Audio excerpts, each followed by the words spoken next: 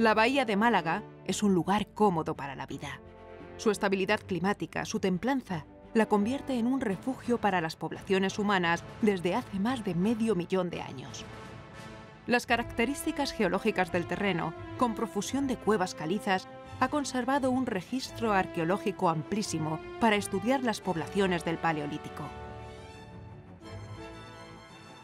El macizo de El Cantal, próximo a las cuevas de la Araña, contiene en su interior un prodigio, formaciones rocosas creadas bajo el mar hace miles de años.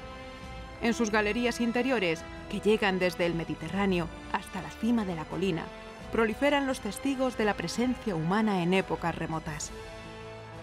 Los restos fósiles y pictóricos de la Cueva de la Victoria son una prueba de primer orden para comprender estas poblaciones del sur peninsular durante el Magdaleniense. Lo que se ha recuperado de las excavaciones, al menos hasta el Magdaleniense, que es el nivel que estudia Forte aquí, está vinculada con el marisqueo, es decir, con la con el, recurso que ofrece la playa, que la playa la tenemos a 500 metros, o sea que es que estamos en el acantilado, pero nosotros por debajo tenemos la playa de la Cala del Moral y la playa de la, del Rincón de la Victoria.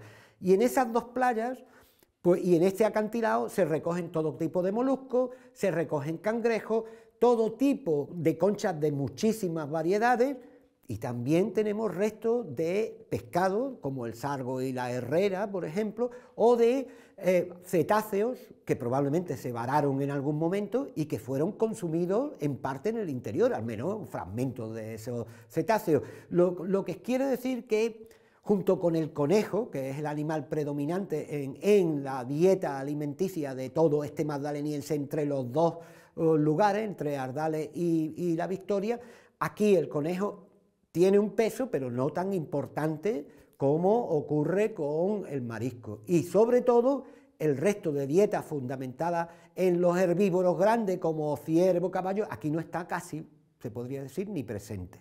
Estos grupos siempre se han creído que son nómadas, ¿no? Pero claro, ser nómada significa muchas cosas. Puede ser nómada dentro de un territorio o nómada abierto al, al conjunto. ¿Tienen la impresión que estas bandas o estos grupos hacen un nomadismo pero siempre cercano a la costa, que de alguna forma eran territoriales? Sí, eso lo hemos estudiado nosotros y publicado en varias ocasiones lo que nosotros llamábamos un nomadismo restringido, que es una secuencia a lo largo del año, a lo largo de las estaciones del año, en donde eh, los, digamos, los grupos humanos del Paleolítico eh, optimizaban lo mejor de cada recurso en su época. Por ejemplo, en las cacerías se iban en lo que era el final de la primavera y el, verano y, el principio, muy al principio del otoño, se iban al interior, a, a, los rebordes montañosos de Málaga, mientras que en invierno le era mucho más favorable bajar a la costa y establecerse cambiando completamente su modo de vida a la playa, es decir, acomodarse lógicamente dentro del año, de las estaciones del año, a lo mejor de cada uno de los dos ecosistemas. La península ibérica tiene peculiaridades que la hacen única en la mayoría de los contextos históricos. La prehistoria no es una excepción. El magdaleniense como fase final del Paleolítico tampoco. Su territorio, con gran variedad climática y orográfica, permitió adaptaciones genuinas del fenómeno magdaleniense. ¿Se puede hablar de un magdaleniense peninsular? Tal vez sea mejor detenerse en el fenómeno abordando sus peculiaridades regionales. El magdaleniense supuso la última etapa del Paleolítico superior.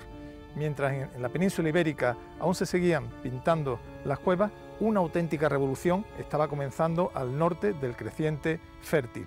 Nacía el Neolítico, como se demuestra en los yacimientos espectaculares del sur de Turquía, de Gobekli Tepe y Karahan Tepe.